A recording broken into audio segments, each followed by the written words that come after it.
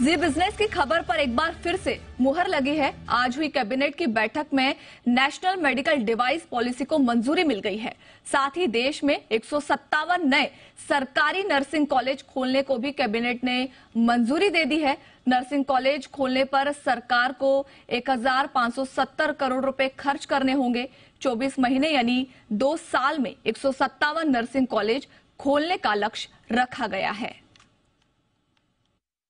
देश में 157 new government nursing college खोलने के लिए। एक नर्सिंग कॉलेज के लिए जहाँ मेडिकल कॉलेज है, वहाँ ही 10 करोड़ रुपया के सहयोग से एक नर्सिंग कॉलेज बनाई जाएगी।